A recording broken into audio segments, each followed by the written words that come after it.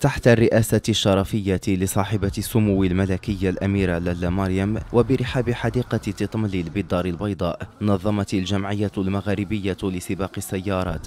بشراكة مع الجامعة الملكية المغربية لسباق السيارات الدورة الأولى لسباق المنعرجات للسيارات. ويهدف هذا الحدث الرياضي إلى اكتشاف الموهوبين في ممارسة سباق السيارات وتعميم ممارسة هذه الرياضة.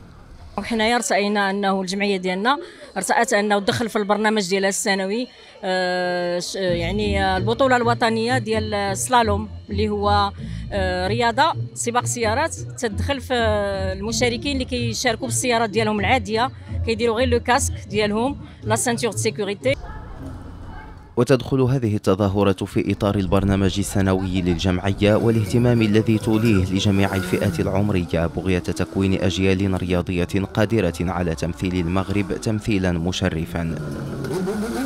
جينا كاملين اليوم en tant que passionnés وعشاق لهاد السباقات. باش أننا نشاركوا وننشطوا كاملين إن شاء الله بإذن الله. آه l'idéal هو أننا إن شاء الله ننشطوا كاملين وندوزوا وقت زوين.